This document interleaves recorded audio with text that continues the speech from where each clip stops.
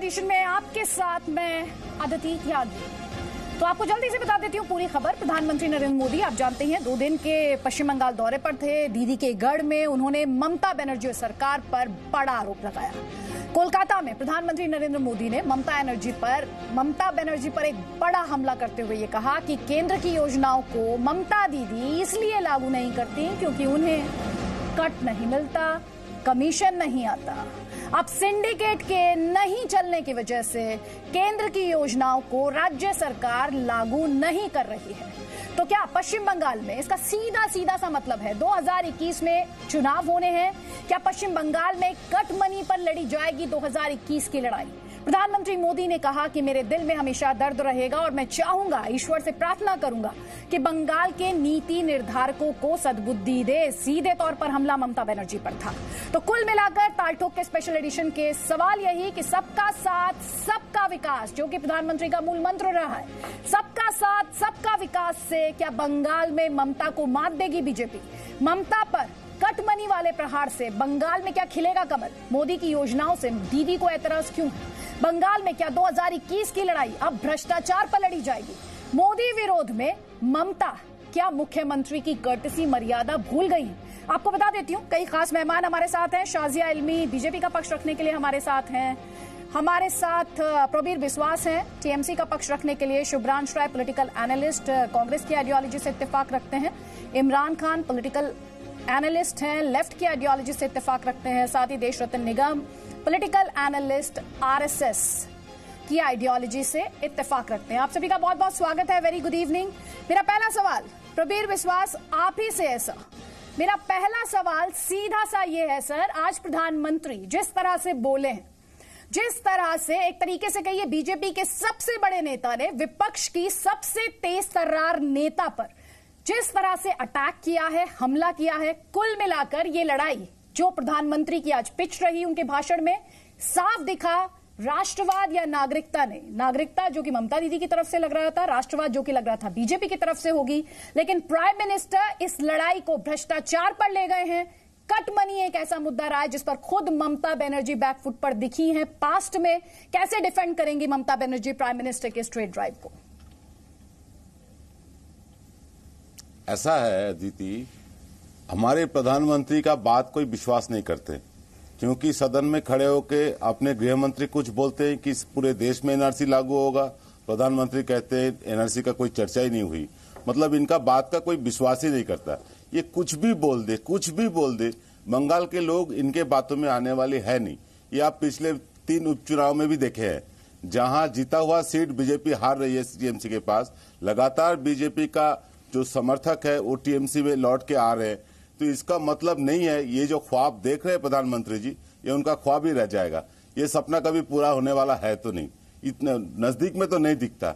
अगले दस बीस साल बाद क्या होगा, वो पता नहीं, लेकिन अभी इतना नज़दीक में तो बीजेपी का आने का कोई सवाल ही नहीं है, क्योंकि बंगाल का रुख बदल चुका है।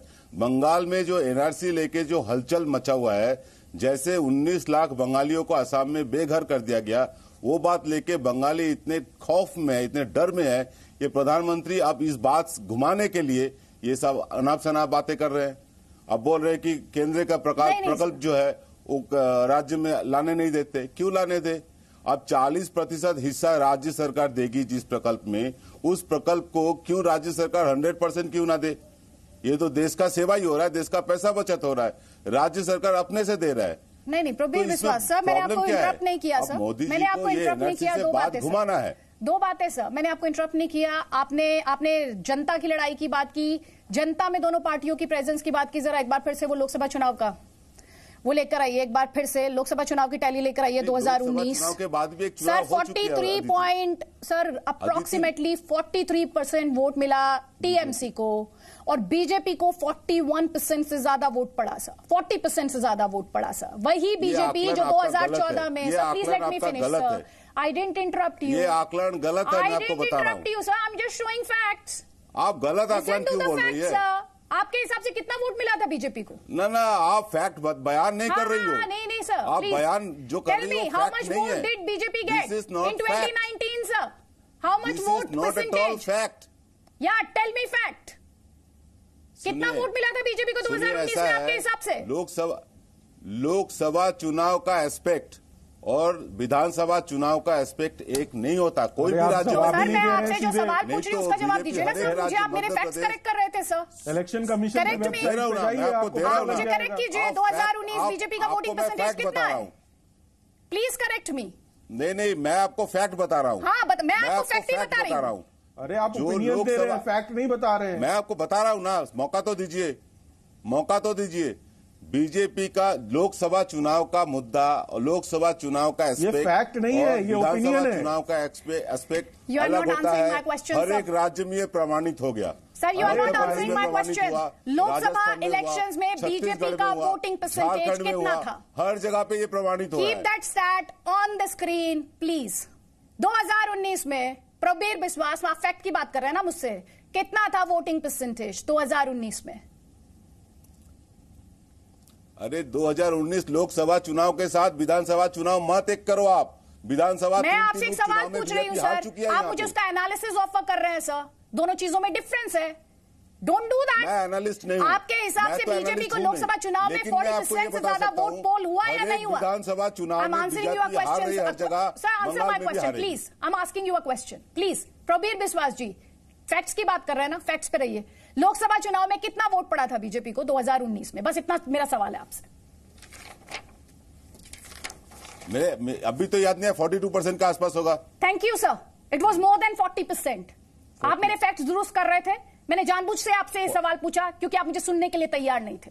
तथ्य के लिहाज से बीजेपी और टीएमसी के बीच में सिर्फ़ तीन परसेंट का फासला था आपके जैसे और प्राइम मिनिस्टर आपको उसके लिए कट मनी को लेकर अटैक कर रहे हैं और उसके फ़ौरन बाद ममता बनर्जी की तरफ़ से हिदायत आई थी टीएमसी के नेताओं को कि आप पैसा वापस लौटा दीजिए। आप उस पर जवाब नहीं दे रहे वो आपका के है? आपकी कमज़ोरी है उससे जुड़ा हुआ सवाल था। शाजिया को जवाब दीजिए ये आपको कटघरे में खड़ा कर रहे हैं और इनको भी जवाब दीजिए मैडम। और साथ ही आप जवाब दीजिए अभिषेक बनर्जी को भी। अभिषेक बनर्जी ये कह रहे हैं प्रधानमंत्री उन मुद्दों पर उन इश्यूज़ पर उन बातों पर मसलों पर नहीं बोले जो Mamata Banerjee time to time उठाती रही हैं। वो तीस हज़ार करोड़ के ड्यू पेमेंट की बात कर रहे हैं सेंटर द्वारा वेस्ट बंगाल अच्छा, तो। दो बातें। वो सात हज़ार करोड़ की ग्रांट की बात कर रहे हैं साइक्लोन बुलबुल के लिए। आप जवाब तो- दीजिए।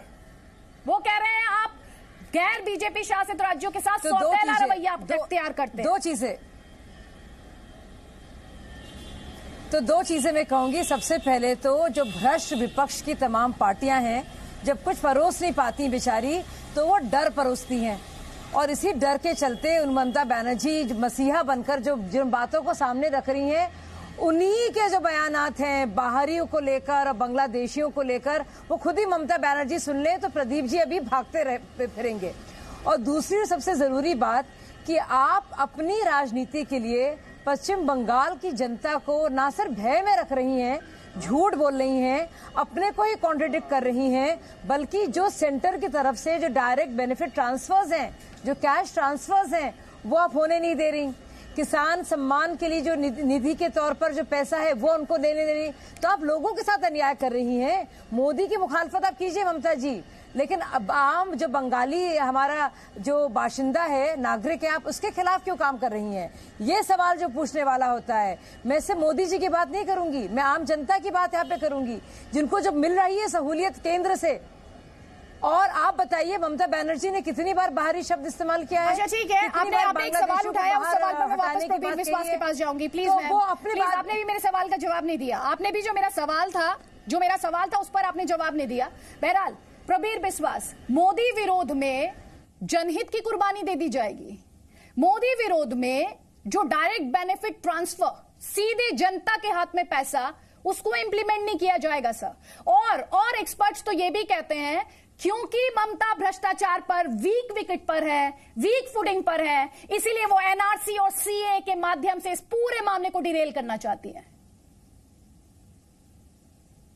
मैं आपको आपका सवाल मैं आप ही से पूछ रहा हूँ मोदी हित में देश का एयरपोर्ट बेचा जाता है क्या मोदी हित में रेलवे के बेचा जाता है क्या कहाँ बेचा गया? बताइए को ना, बेचा जाता है क्या? गया? मोदी हित में दो करोड़ लोगों का साल में नौकरी देने वाले थे वो नहीं देने वाले हैं क्या? अरे भाई पंद्रह लाख रुपया देने वाले तो थे मोदी गलत बता रहे हैं। वो भी बंद कर देना चाहिए बेच दिया गैस रेलवे बेच दिया। गैस सिलेंडर का दाम मतलब डबल होना मतलब चाहिए हो गई? क्या? कुछ तो सर, बिना सर पैर की बातें क्यों कर रहे हैं होना चाहिए था क्या? प्राइवेट प्याज हम छोड़ नहीं सकते। प्राइवेटाइजेशन ममता बनर्जी के टाइम से रेलवे में चल रहा है। बीच में आप बोलेंगे प्राइवेटाइजेशन तो आपका एयरपोर्ट का बहुत समय से चल रहा है। आप ये भी जानते हैं। और जवाब यहाँ आप आप बोल रहे हैं बेच बेच दिया। आप आप मेरे बात का प्रयोग कर रहे हैं? मैं भी आपको बोलने नहीं दूँगा। एक सेकंड रुकिए मैं मैं भी बोलने नहीं दूँगा आपको। नहीं सर ऐसे एक दूसरे को रोकिए नहीं। आप मोदी वरिष्ठ हैं विरोध अच्छा नहीं मोदी विरोध कहते हैं बच्चे आपसे सीखते हैं मोदी हित में इतना सवाल कर दिया जवाब देने वाला है कौन? हाँ हाँ हाँ। मोदी के हित में देश के बयालीस जवान शहीद हो चुके हैं। मोदी के हित में हम दो दो करोड़ नौकरियाँ हर साल में सर आपके लिए।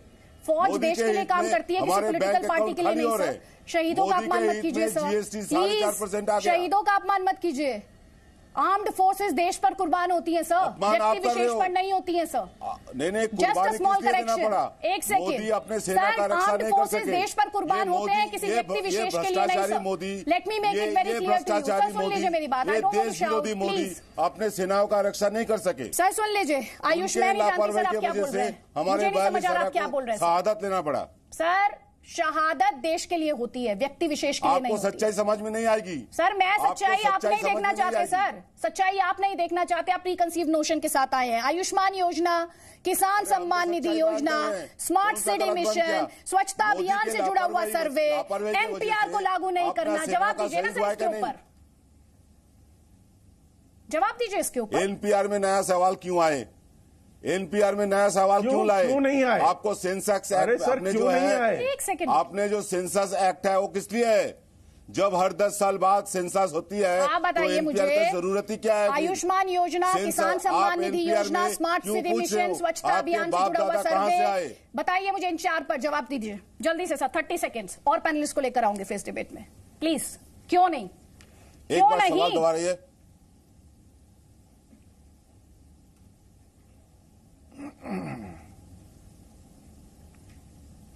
आपका सवाल सुनाई नहीं दिया। सर, मैं दोबारा आऊँगी तो आपसे इस सवाल का जवाब चाहूँगी। आयुष्मान योजना, किसान सम्मान निधि योजना, स्मार्ट सिटी मिशन, स्वच्छता अभियान से जुड़ा सर्वे दीदी ने क्यों नहीं कराया? कोई बात नहीं, Shubhrangshu Roy. BJP versus TMC. आप कहाँ हैं जनाबे अली? अदिति ऐसा है ना कि आज आपके एक क्वेश्चन के साथ मैं बड़ा इत्तेफाक रखता हूँ। आपने क्वेश्चन अपना रेज किया था ताल ठोक के स्पेशल में कि 2021 के बंगाल का election cut money versus corruption पे होगा या बीजेपी की नीतियों पे होगा? कुछ इस तरह का आपका क्वेश्चन था। तो मैं आज इस बात के लिए आपको बहुत बहुत बधाई देता हूँ। बिल्कुल इसी पे होगा क्योंकि भारतीय जनता पार्टी अब डूबती हुए अरे मैडम, मैं बिल्कुल प्यार से जवाब दे रहा थोड़ा आवाज़ भारी है ना? अब भारतीय जनता पार्टी डूबता हुआ व्यापार और जाती हुई नौकरियों पे तो चुनाव लड़ेगी नहीं। नाम बदलने वाली स्कीमों के बिहार पे तो चुनाव लड़ेगी नहीं। बट नेचुरल है, अगर वहाँ टीएमसी में पीछे हम सबने देखा है नेशनल टेलीविज़न पे कि कटमनी होता था और दीदी ने स्पेशल डायरेक्ट किया था कि भाई कटमनी जिसके पास गया वो बाईबैक आए। बिल्कुल सही है। लेकिन आपकी एक दूसरी इंपॉर्टेंट लाइन थी कि अगर सबका साथ, सबका विकास और सबके विश्वास पे भी भारतीय जनता पार्टी को चुनाव नहीं लड़ना अगर ऐसा लड़ना होता तो ये जो सबसे बड़ी पार्टी है जिसके 18 करोड़ आज मेंबर है उसको अपने सीएए के समर्थन में सिर्फ़ 48 लाख मिस कॉल मिला। वो भी पता नहीं कैसे कैसे हथकंडे अपनाने पड़े। और जो आपका तीसरा इंपॉर्टेंट सवाल था, आयुष्मान योजना की आप बात कर रही हैं, बिल्कुल मैं मानता हूँ कि आयुष्मान योजना लागू होनी चाहिए, क्योंकि अगर ये आयुष्मान योजना ठीक से लागू हुई होती तो विजय रूपानी के गृह जनपद अरे भाई कोर्ट में बारह सौ आयुष्मान भारत से जनता का ही फ़ायदा होना है। दूसरा कट मनी पे मैं बता दूँ कट मनी ममता बनर्जी तक जाता है। वो अपना नाम तो भूल गई। छोटे छोटे नेताओं को बोल रही है वापस करने के लिए। मतलब- कट मनी नीचे का वर्कर लेके ऊपर तक पहुंचाता है। कि सुब्रांश जी कट मनी ममता बनर्जी तक जाता है। की बात यह है सुब्रांश जी, कट मनी ममता बनर्जी तक जाता है, अपना नाम वो कैसे भूल गई? रुपए का नाम बदल के रातों रात। ये ये वही है ये वही ममता बनर्जी है कहती है। मोदी जी हमारे प्रधानमंत्री नहीं है। ये वही ममता बनर्जी है कहती है कि यूनाइटेड नेशन से रेफरेंडम कराएँगे। सुनिए। अरे जो उनके अधिकार क्षेत्र में नहीं आता है, वो कहती है हम लागू नहीं करेंगे। आप बड़ी पार्टी सर आप बड़ी पार्टी अरे बड़ा छोटे की बात नहीं है नागरिकों के बारे में बात हो रही है। ज़िम्मेदारी ये बात हो रही है जनता की भलाई के बारे में जिसको आयुष्मान भारत नागरिकों का लाभ मिलना था जो बीमार आदमी है जिसको अपने ऑपरेशन कराना है उसको उसका फ़ायदा मिलना था। नहीं नागरिकों की बात सर सुनिए तो सही सर। अरे सुनिए कि आप जवाब दे नहीं रहे आप कहते सुनिए एक सेकंड। सर दो बात अरे नहीं आप गलत बात सर। अब सवाल का जवाब सोच लीजिए सर। बंगाल में बीजेपी वर्सेस टीएमसी कांग्रेस का क्या होगा? क्योंकि दीदी शरणम गच्छामी आपको करना है। अगर बीजेपी से लड़ना है बंगाल में तो दीदी शरणम गच्छामी आपको करना है। सर आज समझ लीजिए। तो कल आपका ठीक है। परिवर्तन होगा। इमरान खान जी इमरान खान सर मुबारक हो आज आपको। कम से कम लेफ़्ट के प्रेशर में आकर दीदी आज कोलकाता पोर्ट ट्रस्ट के फ़ंक्शन में नहीं गई।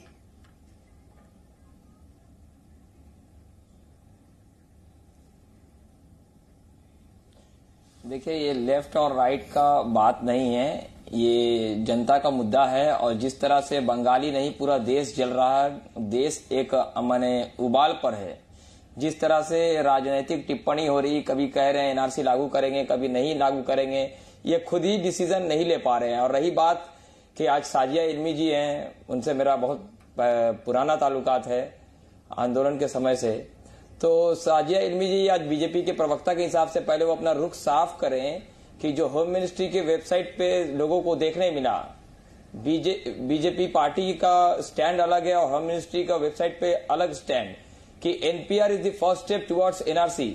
उस पे देश में जो गुमराह हो गए लोग उनको साजिया इलमी ये स्पष्ट करे कि एनपीआर एनआरसी का फ़र्स्ट स्टेप नहीं है। ये, ये साजिया ज़िम्मेदारी से और रही बात रही बात रही एक और बात। भाई साहब मैं जवाब रही एक, एक और बात कि आपने कहा कि कट मनी दो सवाल है दो सवाल सुन लीजिए सुन लीजिए सुन लीजिए दो सवाल पहले सुन लीजिए। ओरिजिनल जो मेंबर्स थे कमेटी के वो कपिल सिब्बल थे और लालू प्रसाद यादव थे। ये वही सीए है वही कमेटी है। सिर्फ़ अमेंडमेंट के तौर पर 2015 तो मतलब के बाद मतलब जो कांग्रेस जो कांग्रेस जो की है वो सारे चीज़ को आप लागू कीजिएगा।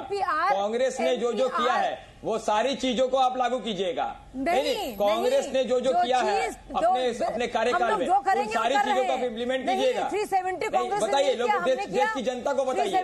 देश की जनता को बताइए साजिया जी क्या कांग्रेस ने जो जो नीति लागू किया है उसको आप लोग इम्प्लीमेंट कीजिएगा। सीधा जवाब दीजिए। सीधा जवाब दीजिए। कांग्रेस की हर नीति को लागू कीजिएगा। कोई ड्राफ्ट आया नहीं आप लोग बहस का समय इस तरह जाया करते हैं ना मुद्दा से लगता है? कबीर विश्वास जी मेरा सवाल था आपसे सिंपल सा कुल मिलाकर वही घूम कर आ रही हूँ। वही घूम कर आ रही हूँ। जनहित की कुर्बानी दे दी जाएगी सियासत के लिए सब। क्या सीए एनआरसी पर ये विरोध? कट मनी से दिमाग डाइवर्ट करने की कोशिश है जनता का ध्यान डाइवर्ट करने की कोशिश है सब। ये जो 18-22 का फासला रह गया अभी सात आठ महीने पहले उसे कवर अप करने की कोशिश है।